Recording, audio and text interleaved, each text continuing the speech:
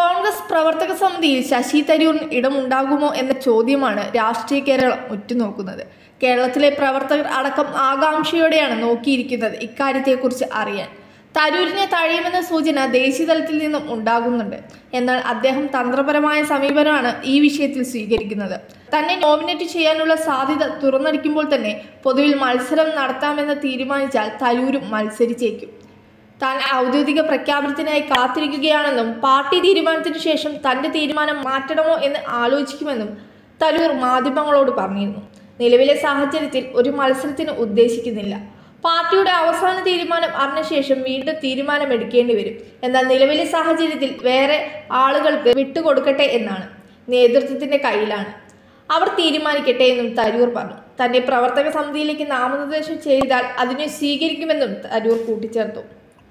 റായ്പൂരിൽ വെച്ച് ഫെബ്രുവരി ഇരുപത്തിനാല് മുതൽ ഇരുപത്തിയാറ് വരെ നടക്കുന്ന പാർട്ടി പ്ലീനറി യോഗത്തിൽ വെച്ചാണ് കോൺഗ്രസ് പ്രവർത്തക സമിതിയെ തെരഞ്ഞെടുക്കുന്നത്.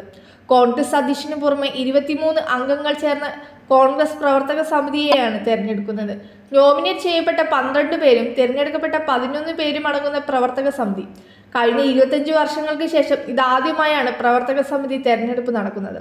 അതേസമയം കോൺഗ്രസ് പ്രവർത്തക സമിതിയിലേക്കുള്ള നോമിനേഷൻ രീതിയിൽ പ്രിയങ്ക ഗാന്ധിക്കും എതിർപ്പുണ്ടെന്ന സൂചനകൾ പുറത്തു വരുന്നുണ്ട് അങ്ങനെ സംഭവിച്ചാൽ വീണ്ടും ഒരു തെരഞ്ഞെടുപ്പിന് അത് കളമൊരുക്കും. തെരഞ്ഞെടുപ്പ് നടന്നാൽ മത്സരിക്കുമെന്ന് പ്രിയങ്ക ഗാന്ധി പ്രഖ്യാപിച്ചു. മത്സരത്തിലൂടെ പ്രവർത്തക സമിതിയിലേക്ക് എത്തുന്ന രീതിയിലാണ് മഹത്വമെന്ന അഭിപ്രായം പ്രിയങ്ക ഗാന്ധി പ്ലീനറി സമ്മേളനത്തിൽ മുന്നോട്ട് വെച്ചതെന്നാണ് വിവരം. ശശി തരൂരിന്റെത് സമാനമായ രീതിയിൽ പ്രവർത്തക സമിതിയിലേക്ക് തെരഞ്ഞെടുപ്പ് നടക്കണമെന്നാണ് പ്രിയങ്ക ഗാന്ധി ആഗ്രഹിക്കുന്നതെന്നും ശ്രദ്ധേയമാണ്. അതേസമയം നേതൃത്വത്തിന്റെ ഭൂരിഭാഗവും തെരഞ്ഞെടുപ്പ് പരമാവധി ഒഴിവാക്കാനുള്ള ശ്രമമാണ് നടത്തുന്നത്. വീണ്ടും ഒരു തെരഞ്ഞെടുപ്പ് എന്നത് വലിയ തോതിൽ കോൺഗ്രസിൽ പൊട്ടിത്തെറി ഉണ്ടാക്കുമെന്നാണ് ഭൂരിഭാഗവും ഭയക്കുന്നത്. ഇരുപത്തഞ്ച് വർഷത്തിന് ശേഷം കോൺഗ്രസ് പ്രവർത്തക സമിതിയിലേക്ക് തെരഞ്ഞെടുപ്പ് നടക്കുമോ എന്നത് ഈ പ്ലീനറി സമ്മേളനത്തിന്റെ ഹൈലൈറ്റ്.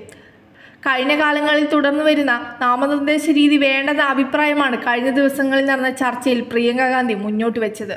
തെരഞ്ഞെടുപ്പ് നടന്നാൽ മത്സരിക്കുമെന്നും ഗാന്ധി കുടുംബത്തിന്റെ പേര് നോമിനേറ്റ് ചെയ്യപ്പെടണമെന്നുമാണ് പ്രിയങ്കയുടെ നിലപാട്. പ്രവർത്തക സമിതിയിലേക്ക് തെരഞ്ഞെടുപ്പ് നടക്കട്ടെ എന്ന് രാഹുൽ ഗാന്ധിയും വ്യക്തമാക്കിയിരുന്നു. തെരഞ്ഞെടുപ്പിനെ സ്വാഗതം ചെയ്ത് ശശി തരൂർ പ്രവർത്തക സമിതിയിലെത്തുന്നതിൽ ഇപ്പോഴും സസ്പെൻസ് നിലനിർത്തുകയാണ്.